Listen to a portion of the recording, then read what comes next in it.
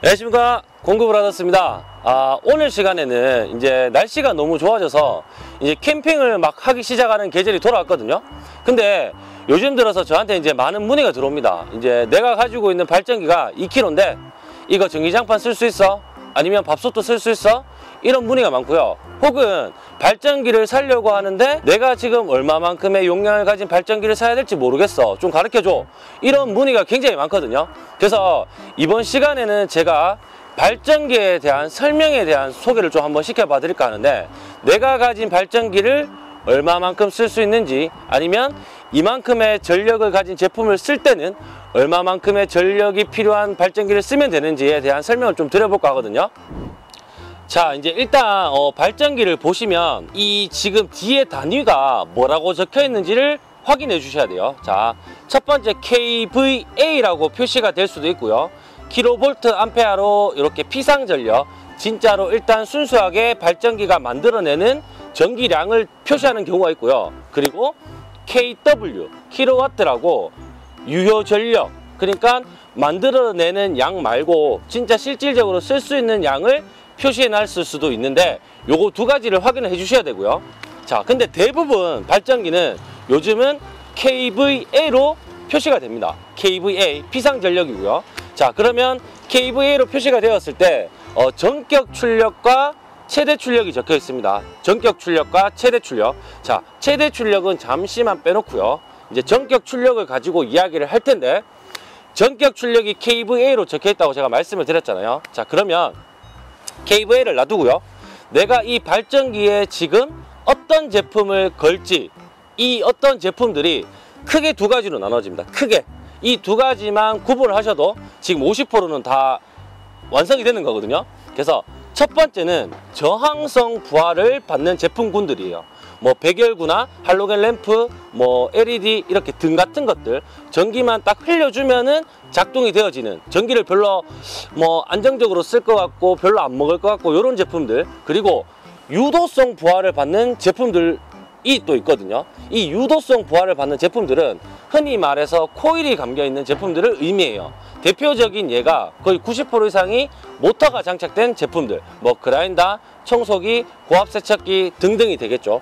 이렇게 내가 가진 발전기의 용량을 확인을 하시고 내가 지금 걸려고 하는 제품군이 이 둘 중에 어느 건지를 확인을 하시는 게 첫 번째고요. 자 저항성 부하를 받는 제품을 만약에 건다고 가정을 하면은 내가 가진 아까 전에 전격 출력이 있었죠. KVA라고 표시되는 전격 출력.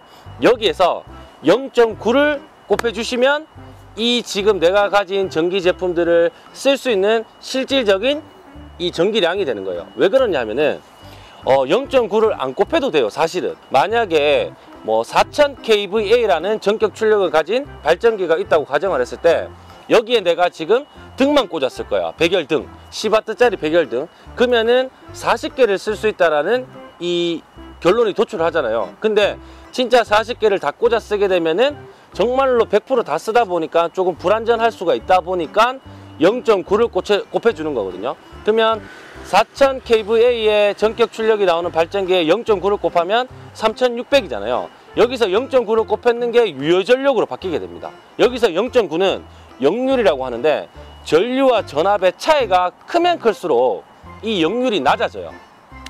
그래서 저항성 부하를 받는 제품들은 역률이 거의 차이가 없기 때문에 1이라고 봐도 무방하지만 안전하게 안정적으로 쓸 수 있게 하기 위해서 내가 가진 발전기 전격 출력 KVA 기준의 0.9를 곱했는 유효 전력만큼 사용을 할 수가 있는 거고요. 그리고 유도성 부하를 받는 제품들은 그라인더, 뭐 청소기, 고압 세척기 등등 이렇게 뭔가 부하를 많이 받는 제품들을 가리키는 건데 이런 제품을 쓸 때는 내가 지금 쓰려고 하는 발전기의 전격 출력 KVA에 곱하기 0.8을 해줘야 돼요. 왜 그러냐면은 이 지금 유도성 부하를 받는 제품들은 전류와 전압의 차이, 위상 차이라고 하죠. 위상 차가 굉장히 커요.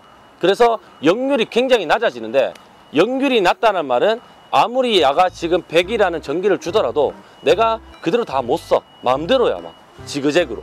그래서 0.8을 곱했는 수치를 이 지금 유도성 부하를 가진 제품들을 쓸 때는 쓸 수 있는 전력이라고 생각하시면 좋거든요 이제 거의 한 70%까지 왔거든요. 좀 지루할 수 있겠지만.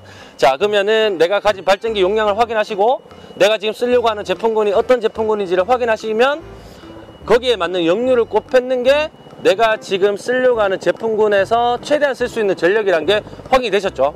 근데 그라인더, 청소기, 뭐 고압 세척기, 컴프레셔, 용접기 뭔가 지금 전기를 많이 먹을 것 같이 지금 느껴지는 이 제품들은 이 0.8이라는 역류를 곱하고 나서도 또 뭔가를 하나 더 해줘야 돼요. 그게 뭐냐면은 기동 부하 배수라는 것을 참조를 시켜줘야 돼요. 자, 예를 들어서 제가 지금 가진 발전기가 2000kVA라는 전격 출력을 가지고 있어요. 근데 내가 여기에 지금 걸어 쓰려고 하는 제품이 그라인더입니다. 손 그라인더. 자, 이렇게 그라인더라고 가정을 했을 때 2000kVA라는 전격 출력을 가진 유- 어, 발전기가 있고요. 내가 지금 쓰려고 하는 제품이 유도성 부하를 받는 제품이죠. 근데 이 제품의 어, 소비 전력을 봤더니 750W입니다. 그러면 자 2000kVA니까 거기서 어, 유도성 부하를 가진 제품이니까 역률인 0.8을 곱해라고 했다. 그 0.8을 곱하니까 1600W를 내가 쓸 수가 있어. 지금 이 제품을 쓴다고 가정했을 때.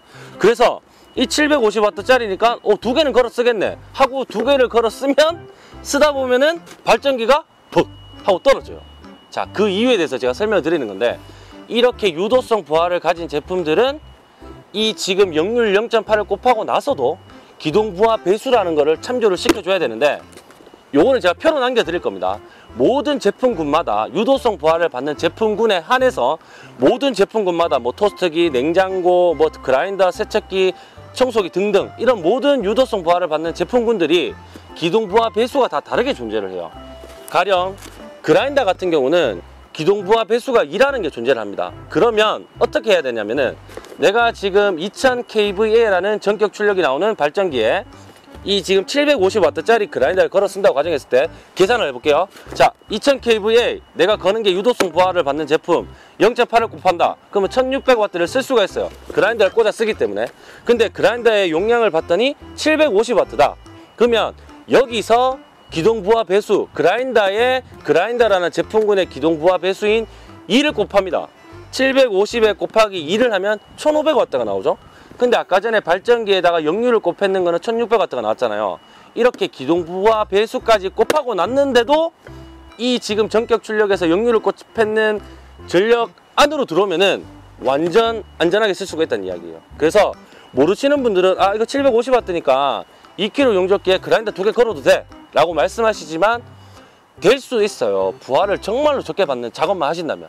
근데 결론적으로는 제가 말씀드릴 때는 그렇게는 쓰면은 90% 이상이 쓰다 보면은 발전기가 떨어집니다. 시동이 꺼져 버려요. 요 느낌이 좀 이해가 되실까요?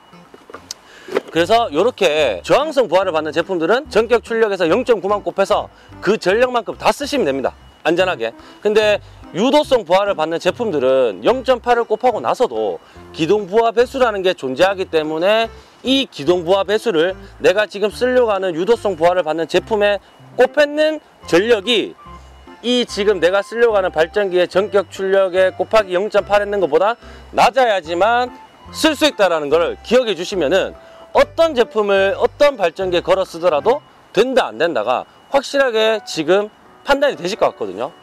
자 이제 제가 이렇게 아, 너무 좀 지루했지만 설명을 드려봤는데 이렇게 아시게 된다면 분명히 발전기를 사용함에 있어서 발전기를 구매함에 있어서 그리고 내가 가진 발전기에 어떤 제품을 걸 수 있는지에 대해서 조금 정리가 되실 것 같거든요. 그리고 제가 밑에 하단에 또 표도 남겨두겠습니다. 그래서 내가 지금 가진 제품이 내가 쓰려고 하는 발전기에 쓸 수 있는지 혹은 내가 지금 이만큼의 전기를 가진 제품을 쓰고 싶은데 얼마만큼의 용량을 가진 발전기를 구매하면 되는지에 대해서 조금 아셨으면 좋겠고 어, 오늘 영상은 이렇게 짧았지만 간략하게 발전기에 대한 사용 방법, 발전기에 대한 어, 사용 전력에 대한 이야기를 한번 드려봤습니다. 다음 편에도 또 좀 더 괜찮은 영상으로 찾아뵙는 공구브라더스가 되겠습니다. 감사합니다.